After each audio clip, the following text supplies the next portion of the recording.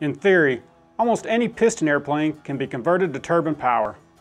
However, in reality, the unforgiving mathematics of payload and range make it impractical for many aircraft to be converted. Now one aircraft that does make sense for the conversion is the Ag Cat. Covington Aircraft and Turbine Conversions Limited have an exclusive partnership to provide the ag market with a high-quality PT6A turbine conversion for your radial-powered Ag Cat. When you take the exceptional craftsmanship of the conversion provided by Turbine Conversions Limited and power it using a PT6A provided by Covington, you end up with an aircraft, the TurboCat, capable of improving your bottom line.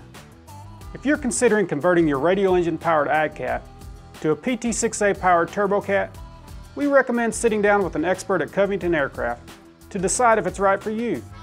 Then you can fly in with a radial engine and fly out with a PT6A turbine.